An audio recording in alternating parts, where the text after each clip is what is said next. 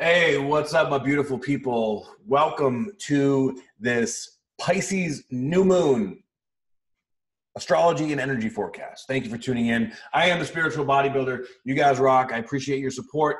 Um, so let's jump right into this massively transformative energy that we're going to be experiencing here. I'm going to go ahead and pull up the chart, show you what I am looking at. All right. So, um, this new moon so a new so a new moon is when um, the sun and the moon are conjunct. They're on top of each other. So this energy um, you can't see it in the sky uh, and it's it's it's a it's a brand new start to this energy okay? Of course pisces pisces is very mysterious. It's very mystical. It's it's it's connected to the collective unconscious right? So here we are in this new depth, going to this new layer. There's and there's going to be many layers like this throughout the year. Okay, let me tell you. Um, this one is unique and special, though. Okay, because of the other aspects that are going along with it. What's really big here um, is that Mars will be just two degrees away, conjunct the South Node in Capricorn. Okay, now we have a ton of Capricorn, Pisces, and Aries energy going on. So you know. Um, there's two cardinal and one mutable. So that is like cardinal wants to start shit, wants to get things going, and this mutable is like, oh wait, no, things are going to change, right? So it's like as we're getting started, we have a lot of new things happening in our lives, right? We have a lot of new, um, either new new business plans, new relationships, new feelings of our identity, new new gifts coming in, new new passions, right? Discovering like maybe you just started working out or maybe you just discovered that you love painting. Maybe you just like you know met someone that just totally rocks your world and it's absolutely like bomb. But whatever it is there's this in massive passion desire to get things going right?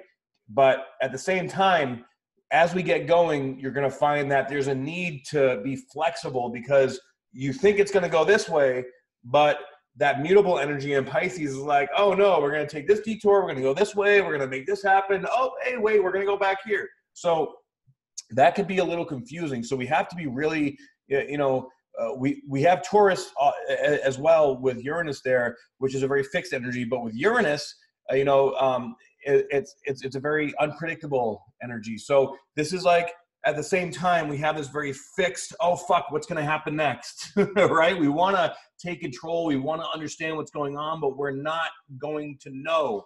We're not going to figure it out. The big thing with the mars and south node okay? Mars is passion. Mars is desire. It's the divine masculine. It wants to go out there and make shit happen right? It's the warrior. The south node is about the past. It's about letting shit go and with all this energy going on in Capricorn, okay, Mars is also exalted in Capricorn. So Mars loves, loves, loves, loves being in Capricorn, all right? It's like Capricorn is this stable foundation where it allows the warrior to go do what it wants. But with the South Node, it's like, okay, we're going to go do what we want. We're going to go make shit happen. But first, as Mars comes to conjunct the South Node, it's like we need to bring this stuff up that's no longer serving us and let it the fuck go. And these things that are bringing up, Mars is Mars is frustration, Mars is anger, right? Mars is that that deep down like ah, like just when you like yell at yourself, when you're pissed off about something, when you're frustrated, a lot of frustration, irritation.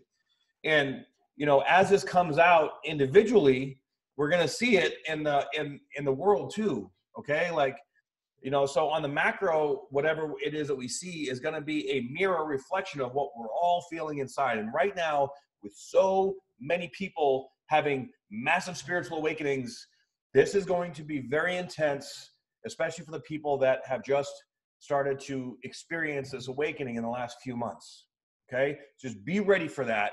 For a lot of anger to come up be in Trigger Town. Uh, you're you're taking the Trigger train through Trigger Town, and you're running for office. All right, like this is this is going to require us. Uh, you know, Mars wants to control too. It, it, it wants to get its hands on things in this physical world and just and just push it right, move it. it wants to you know make, just make shit happen. So with the South Node, forcing it to let go of things it's like things that we want to hold on to things that we feel that we need it's it's the part of the ego that is very, very stubborn. All right. So this this will be a difficult transit to let go of things that no longer serve us. But deep down, the feeling that we feel when it comes up is, is going to feel like we need it, right? This is this is akin to like ego death, all right? And when we're experiencing an ego death, it can feel like we're really dying. All right, this deeply rooted fear, like guilt and shame, are associated with anger as well. You know, like so it, try to be kind to yourself. But what'll really help with this energy is exercise. It's physical movement, yoga, HIIT training, lifting weights, whatever your whatever your I don't want to say poison, but whatever your style that you prefer, you need to do something physical with this. Okay, this is a great time to get out there and just be physical and you know get out there in the world and just move this physical energy through your body and make it happen. Okay, we have Jupiter here at 18 degrees. It's it's, it's moving up and uh, it's really starting to take off and it's almost at the end of the second decan, right? So Mars has been has I mean I'm sorry, Jupiter has been uh, already been through the first and three quarters way through the second decan. The second decan is where we're really setting this new foundation for our new life. Okay, once it starts to get into the third decan, that's when it's going to conjunct Pluto and then Saturn, and that's and then it'll retrograde and go back over um, Pluto again so the third decan is when it's like all these puzzle pieces that we're putting together now are really going to come together. Okay, so you know, take advantage of this Jupiter energy and allow it to, you know, allow this motivation and this guidance to push you while staying centered. All right. So we also have Mercury retrograde, of course, right now. It's been retrograde for about a week. It's at nine degrees of uh, Pisces on this day. All right. So it's pretty close to the moon and the sun. Now, Mercury and Pisces, Mercury doesn't like being in Pisces, okay, because it's like information overload. So this will make that Mars energy that much more confusing, okay? And this is emotional shit. So this is going to be a very emotional time. And we also have, um, you know, we have Mars and the South Node sextile over to this new moon. So they're speaking clearly, okay? But that just means more shit's coming up. All right, that just means that all these emotions are going to be being purged and it's going to be you know it, it's it's we may feel things that we don't want to feel but we have to. All right so just if you have that in the back of your mind that you have to feel this to get it out get it over with get through it you know it's like you got to go through the pain to get to the pleasure. All right so bring that inner masochist out of you and just make it happen all right? Now now with this mercury retrograde whatever happened in in the previous three weeks is is what it's going over but this can also bring back people, situations, and experiences that have had massive impacts on your emotional state to rediscover like you were in a different place when this thing came in, this person or whatever came in. Like maybe an ex will come back. Okay, that happens a lot during Mercury retrograde, especially in water signs. Okay, it's going to re-trigger all these feelings that you thought you had you had gone or had had worked through. All right, and it's going to re-trigger them, saying, okay, now how are you going to respond? from this new place? Did you really learn your lesson? Did you really learn your lesson? So you have to ask yourself that, okay? Because this is going to test you to your core. And are you going to respond the same way? Or are you going to be able to take a step back and observe your response, observe your trigger when it's at its deepest? If you've done the work, you will be able to do that. If you have not done the work, you're going to fall right down the same fucking rabbit hole. So, you know, just be you know if you're if you're watching this you have been doing the work so you know i'm i'm sure you're not going to have a problem with it but just be aware just be cognizant okay that whatever's coming back in is meant to teach you something now whatever the outcome is let go of it because you don't know all right there's no way of telling because there's so much change there's so much change going on right here that we we don't know where we're going to be next month okay? So so allow like allow yourself to let go of any expected outcome. Be okay with not being okay with whatever happens because the universe is guiding you to your highest and and and best result okay? That's what 2020 is all about facing your fears and raising your vibration to bring you into the life that your soul is craving and truly desires okay now we have neptune here at 17 degrees it's getting up there guys once it gets to 18 you know, it's going to start getting into new territory. So, you know, Neptune moves very, very slow. We've never, you know, we've never seen it um, coming up this high in the degrees in Pisces in our lifetimes. Okay, it's been it's been hundreds of years. So, you know, Neptune goes deep. It, it, it's it's uncovering these deeper layers of our consciousness. all right, between that and Pluto, we we are we are activating DNA that's been dormant forever. You know, they say, you know, we have um, we only use three percent of our DNA. The rest is junk DNA. It's bullshit. Okay, the rest of our DNA is dormant. It's been suppressed or shut down, and that's where you know in this in this day and age, all the you know electromagnetic uh, magnetic frequencies, like all the EMFs, all the GMOs in our food, all vaccines, antibiotics, prescription medications, all these things are designed to keep our vibration low. So the more you take care of yourself, the more you eat healthy and organic and and and invest in the education of your body and your mind and your spirit, the more your body and mind and spirit is going to be able to evolve. And as we evolve, we are creating a whole new way of life, a whole new a whole, a whole new consciousness, right? A whole new way of approaching just humanity in and of itself. Okay, bringing back some things from hundreds of years ago, like indigenous people before it, we, it got infected by all the people bringing the modern world. You know, like the modern world is great. I love it. It's afforded us, you know, more more sanitation and like a better better living conditions. But at the same time, you know, it's brought on all these all, all these fear-based like suppressive motives and greed and you know and just shitty people just just a lot of shitty people that are just greedy and manipulative and out for power to get the best of people. And that is shifting as we enter the age of aquarius. Um, we are raising our consciousness to the 5d so that we can you know it's all about loving humanity all right? Living the fifth dimension is living from the vibration of love. That is our foundation. That is where we're coming from and purging all this fucking fear. Done. So as neptune continues to move through pisces that's going to uncover more extrasensory perceptions aka psychic gifts. More weird paranormal shit that you know we may not understand okay? Which if you embrace it and you embody it then you will integrate it and become a you know a greater version of yourself a, a, deeper version of yourself. If you do not if you fight it that's where the addiction comes into play. That's where escapism and detachment from reality okay so we have to make sure that we're working with these energies and being honest with ourselves like brutally honest okay and just looking at ourselves like hey look why the fuck does this keep happening in my life am i repeating some kind of pattern universe, God, spirit, show me, tell, teach me, right? And the triggers are the teachers. Your triggers are there to teach you what you need to know, but you have to look at it. You have to feel it. You have to face yourself. That's why, you know, a trick that I use whenever I'm going through some deep shit like this is I look at myself in the mirror and I do my I am statements, right? You know, I love you. It's so interesting how a lot of people, when they look at themselves in the mirror, and you look at yourself in the eyes, right in the eyeballs, and you say, I love you, how difficult that is. I've seen people break down and cry or not even be able to do it at first, freak out. There is some really deep down, dark, hidden shit in there that we need to excavate.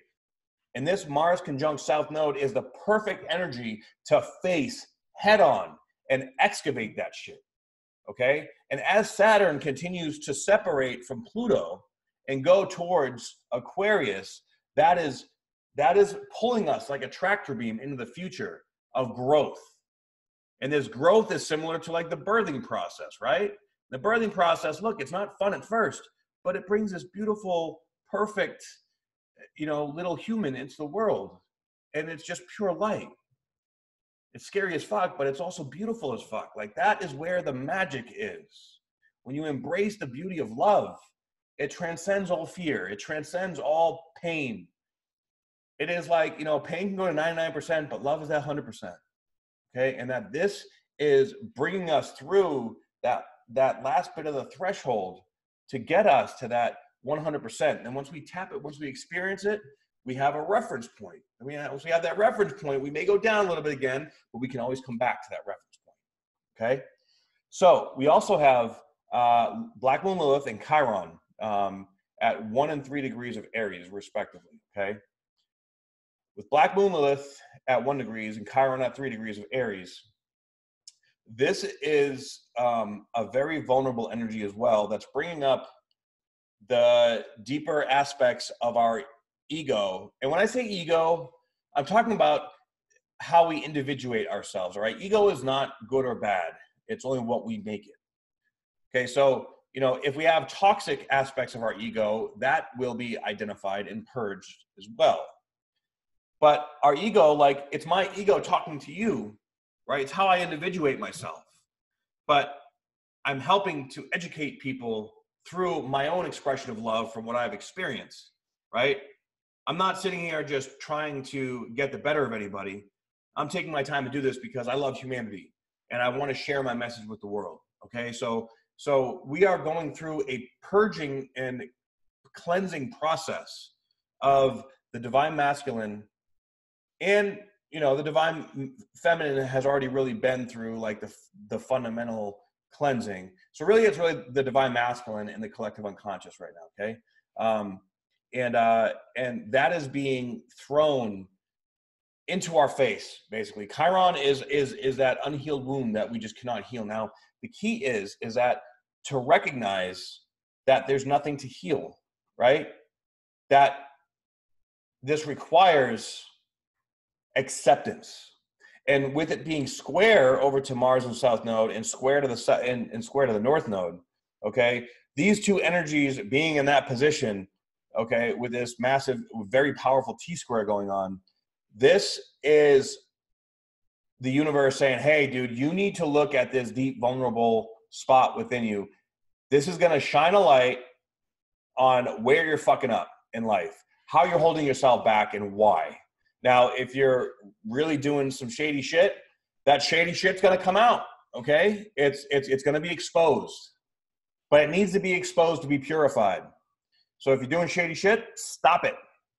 The universe knows, and you're to be called out on it. There is no more time to waste. We are here, people. This needs to be done now. Okay? So we also have Venus in Aries. Venus, okay, so I actually kind of like Venus in Aries. All right. Venus in Aries is a bit impulsive. All right. It's like, you know, I want to just, you know, I want to feel good now, right now. Let's go. Right. Um, but it, it, it, it can get, you know, really excited at first and then put her out real quick. So you really want to um, try to keep that impulsiveness, you know, down boy. um, keep that at bay. And once it gets into Taurus, you know, uh, Venus rules Taurus and it'll even out a little bit. So, you know, with all this other shenanigans going on, you know, we may get super, you know, impulsive about our emotional state. And, you know, this could make us, you know, want to jump into something that may not be the best thing to jump into, is all I'm saying. Okay, so be careful of that.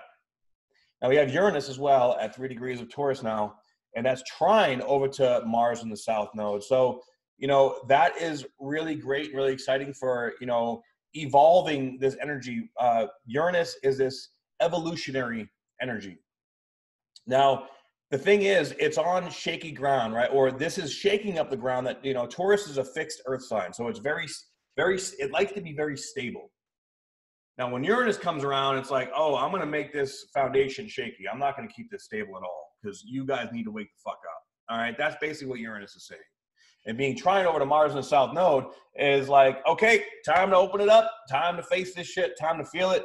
So it's there's going to be this earthquakey kind of feeling going on underneath the surface in your in your energy, in your mind, and that earthquakey feeling is what's purging out this deeper stuff. That's like the fundamental energy underneath there to get rid of all this Mars, you know, toxic Mars energy. Okay.